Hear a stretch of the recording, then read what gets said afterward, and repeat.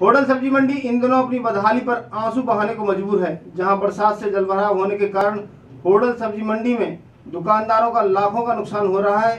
लोगों ने कहा कि मार्केट कमेटी से कई बार शिकायत के बाद भी उनकी कोई सुनवाई नहीं हो पा रही है। होटल में करीब छह दिन पहले हुई बरसात के कारण सब्ज़ी मंडी में चारों तरफ़ पानी ही पानी नज़र आ रहा है। इसके कारण यहाँ के दुकानदार पलायन करने को मजबूर हैं।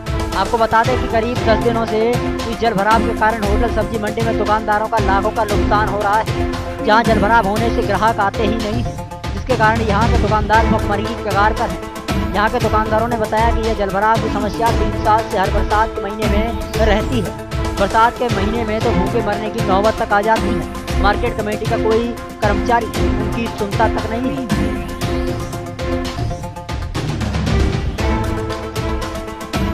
वहीं आरती प्रमोद ने बताया कि जब भी मार्केट कमेटी से सफ़ाई व पानी निकासी के लिए कहते हैं तो वो यह कहकर पल्ला झाड़ देते हैं कि हमारे पास कर्मचारी नहीं। कई बार मार्केट कमेटी सेक्रेटरी को पानी निकासी के लिए कहा गया, लेकिन कोई अधिकारी सुनने को तैयार नहीं है और ना ही अधिकारी यहाँ मौका देखने के लिए आए हैं। यह दुकानदार भुखमरी की कगार पर खड़े हैं।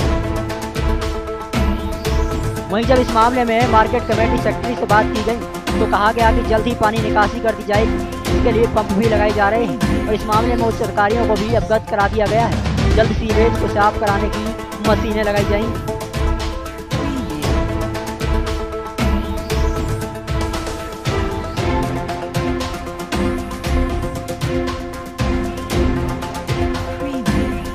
सत्ताईस तारीख से बारिश हुई है। सत्ताईस तारीख पिछले महीने भी सत्ताईस तारीख में बारिश हुई थी तब भी पंद्रह बीस दिन रहा था और अब सत्ताईस तारीख से पानी भरा हुआ है। और अभी तक कोई भी निकासी की व्यवस्था ना बनाई है। तो क्या इस मामले में कभी कोई अधिकारी मार्केट कमेटी वगैरह को कोई मार्केट सूचित किया कमेटी के था चेयरमैन से भी शिकायत करी है और एडीएम साहब थे एच साहब से भी शिकायत करी है। हम्म। क्या सुन कोई कोई सुनवाई नहीं हुई अभी तक? कोई सुनवाई नहीं हुई अभी तक। तो आपकी दुकानदारी में कितना फ़र्क पड़ रहा है इससे? दुकानदारी तो खत्म ही है जी। एक एक करोड़ की दुकान और बेच दी है मार्केट कमेटी ने और इनकी ना किस्त भरी जा रही है। हम्म। सबरी किस्त पेंडिंग पर ही है। कोई धंधे नहीं है। तो ये सब्ज़ी वाले यहाँ से प्लान कर चुके हैं जो ये सब्ज़ी वाले प्लान कर गए हैं। जी सब्ज़ी सब खाली बूथ पर हैं। सब बेकार हो गए ये भी पानी से गल गए हैं। दो तीन तक पानी भर गया। इसमें तीन तीन फुट पानी हो गया। रोज़गार सब बिल्कुल खत्म है। दुकानदारी पैर- बिल्कुल सबरे पैर गंदे हो गए। स्कूल के बच्चे पढ़ने वाले जाते हैं।